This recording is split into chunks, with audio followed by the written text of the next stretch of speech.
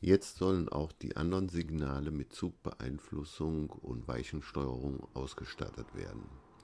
Dabei machen sich zwei Sachen positiv bemerkbar.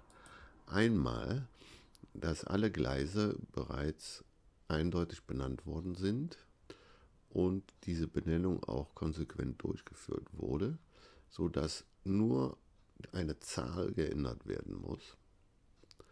Und zum Zweiten der Aufbau der Ereignisverwaltung, der jetzt eine noch klarere Struktur bekommt, als er schon hat.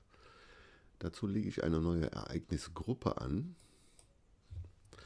benenne die in N103, denn für dieses Signal gilt sie ja, und verschiebe die vier Ereignisse in die Gruppe hinein.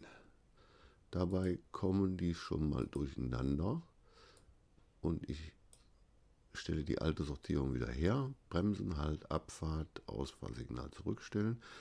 Das hat keine, keinen Einfluss auf die Funktion, sondern dient nur der Übersicht. Jetzt brauche ich die Gruppe nur zu duplizieren und umzubenennen. Das nächste Signal soll N102 sein. Und muss hier nur umbenennen. Aus 103 wird immer 102. Ebenso beim Signal. Und wieder beim Gleis. Damit ist diese Sache erledigt. Das gleiche bei Halt. Gleis. Signal. Gleis.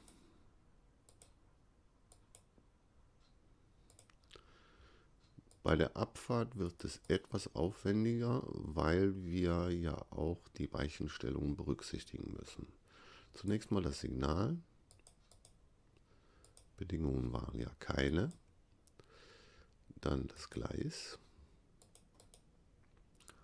Und jetzt müssen wir uns die Weichen im Einzelnen nochmal anschauen. Am besten wieder im Planungsmodus. Hier fährt der Zug in den Bahnhof ein. Weiche 106 muss auf 0 geschaltet werden.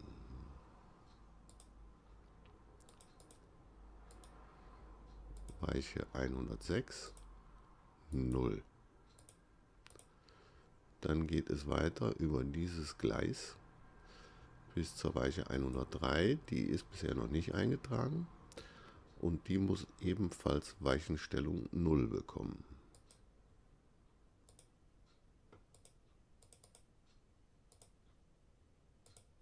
Weiche 103, Position 0. Zum Schluss die DKW. Die schalte ich jetzt so lange durch, bis sie die richtige Lage erreicht hat.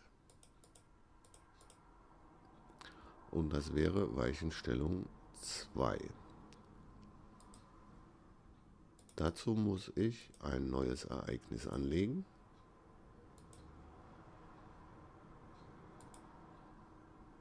Weiche schalten. Mir die DKW wieder aussuchen und Weichenstellung 2 angeben. Zum Schluss die Zurückstellung des Signals, Nummernwechsel, ebenso beim Signal und die Sache ist erledigt. Jetzt erfolgt der obligatorische Test. Ich stelle alle Weichen wieder auf eine falsche Lage ein und betätige den Signalschalter und sehe, die Weichenstraße wird korrekt eingestellt. Jetzt kommt ein Zug dazu.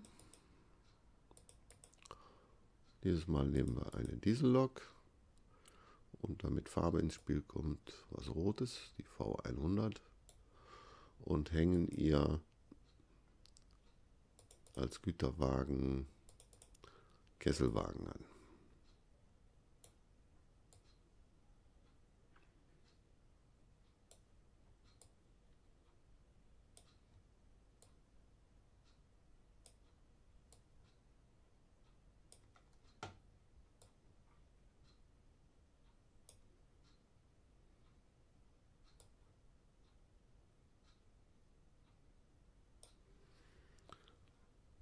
Gebe ich der Lok die Geschwindigkeit 200 mm pro Sekunde.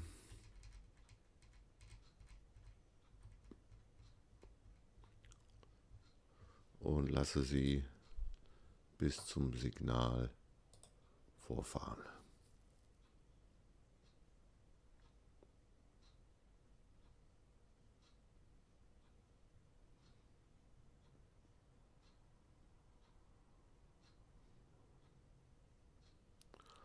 Jetzt sind wir so weit, dass man eine Zweizugsteuerung ablaufen lassen kann, nur mit diesen beiden roten Tastern für die Signale.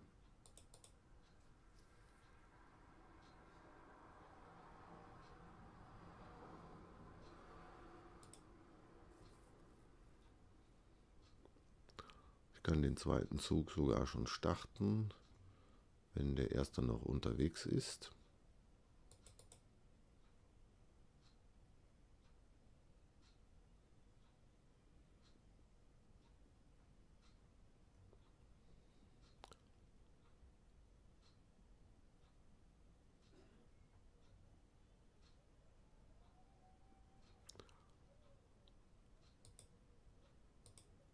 Muss aber dann darauf achten, dass die Einfahrweiche in die richtige Stellung kommt. Sonst würden die Züge aufeinander fahren.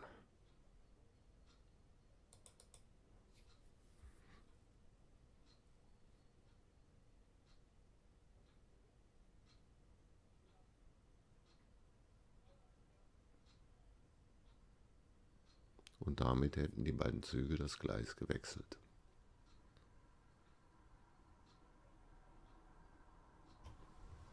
Inzwischen habe ich die Ereignisverwaltung so weit erweitert, dass auch die Signale P104 und P105 mit Zugbeeinflussung ausgestattet sind und die Fahrstraßen schalten.